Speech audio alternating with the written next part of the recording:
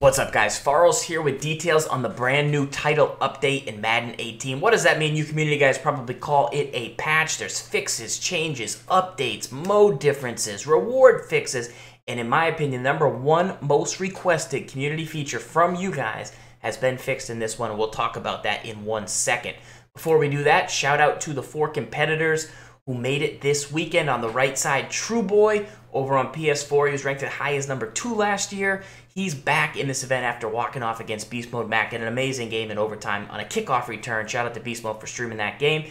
Duke, the veteran, he's back. Dub.W, your Madden Bowl champ. And then Joke, who was in the final four of the Madden Championship last year.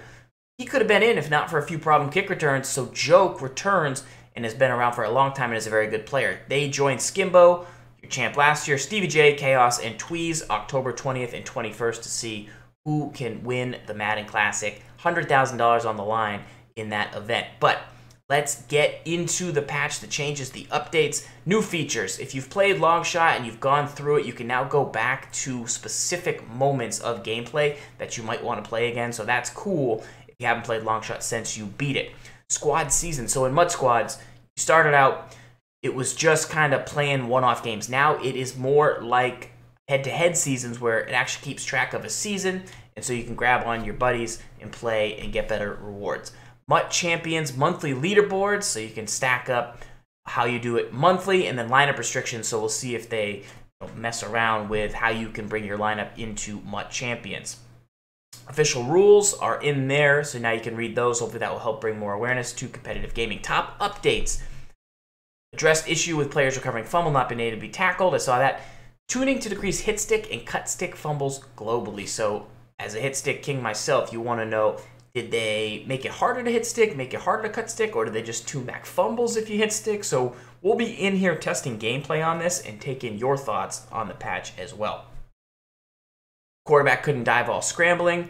Uh, bubble screen, there was one in Denver in Singleback that we liked last year. We'll go back and check that now. Uh, Gun Monster, remember the formation? People, a lot of people were beating solo challenge with it. You get great pancakes. RIP to that formation. Now, one thing I really like about this patch is on the right hand side, you see them there, the ability chemistries. So those are in Ultimate Team and they're, you know, on certain players. So unfakeable. When user controlled, player does not get faked out by ball carrier moves. That's awesome.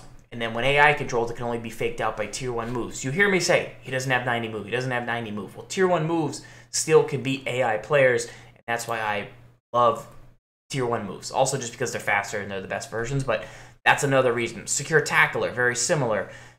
Tackles won't be broken. Footsteps is probably my favorite. Defensive players in the area of a, of a catch will bring a higher catch penalty to players uh, near the ball who are catching it. Across the middle, you, you got your user in the area. Boom, I want to see those passes dropped. Uh, I like this cat and mouse of situational pass rusher and primetime protector. Third, fourth, and long. You're already setting your stuff to aggressive. Guys are teeing off because you know they're only going to pass. You want to see that boost uh, in there, and then you want to see a way to counter it with prime, primetime protector. Lead the way sounds a lot like impact block, you know, increasing that. And then interception specialist defenders are less likely to drop picks. A lot of new helmets are hidden in there for you guys. General updates, and this is where I'm going to sneak in the most requested feature in Ultimate Team. You guys can now remove items from sets. So you put some stuff in sets you didn't mean to, badges. I thought I was going to do this one, realized it's too much. Is it too late? Can't get my stuff back. Gotta wait till the set closes. You can now go in, batch remove. Look, it might seem small. A lot of stuff with MUT, it's UI, it's it's you don't know how good it is until you, you have it or you don't have it. So that's a big one, and we snuck that in. Next up, some changes. So Paul Perkins, Evan Engram, rookie Evan Engram, he's going to be looking much, much better, and you can see some changes uh, to update some players' visuals. Whew, gameplay. This is the bread and butter. This is where everyone's probably scrolling down to, and there's two things that I really like in here, and we'll talk about them. Um, so first up, QB contain, lock in the tackles. We showed an example of a blitz like that on Twim last week at the end of the show, and also how to counter it which was good. But that's something you want to look into. That was in the 3 4 segment.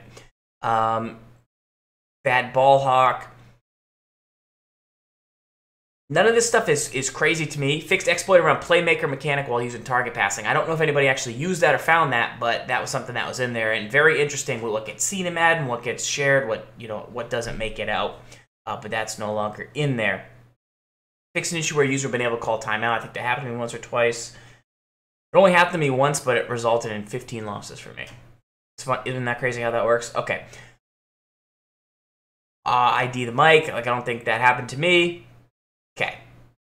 Add penalty to users who use LB L1 computer defensive assist in competitive. I love it. Um, added additional thresholds. This whole category is my favorite. Added additional thresholds for broken sacks on competitive game style. Added additional thresholds for hit stick fumbles on competitive game style. Added additional thresholds for auto broken tackles, for AI strip ball attempts. Um, I just like that on competitive game mode, they're continuing to tune it, it appears, to add thresholds. So, hey, if a player's not this rating, he's not going to do this action. And we always kind of want to tune that. Uh, we competitive players always want to see that tuned and adjusted, and they want to see only certain players with certain ratings be able to make specific plays and not have them be random, random outcomes. So you don't want to see quarterback with 15 elusiveness get a broken sack that costs you the game. But you don't mind seeing Big Ben get it because if you play with Big Ben, that's something that you would want to see. So you want to see those those thresholds uh, work in your favor. And, and, there's a bunch in there, and I, I like that. I like the way what that shows. Okay. Um, some motion, some man coverage. So I hope this doesn't cover one hole because it's already pretty hard to beat it deep, but we'll see what that fixes, and perhaps man coverage could be back. And then I really like adding a banner that triggers when a player with a low catch rating drops a pass or a pick, when uh, a player with high hit power causes a fumble, or when a player with a strip ball trait causes a fumble. And the reason I like those is because not everybody knows that Calvin Pryor's got a huge hit stick, or back with back in the day, Taylor Mays flying out there on the field. Like you get hit in MUT, you don't know who's on what team, and you're like, man, I fumbled, that stinks. But it's if it triggers a banner that's like high hit power, you're like, all right, at least I got hit with a guy with high hit power. A guy drops a pass, yeah, at least my I know my CB that dropped that pass has has low catch.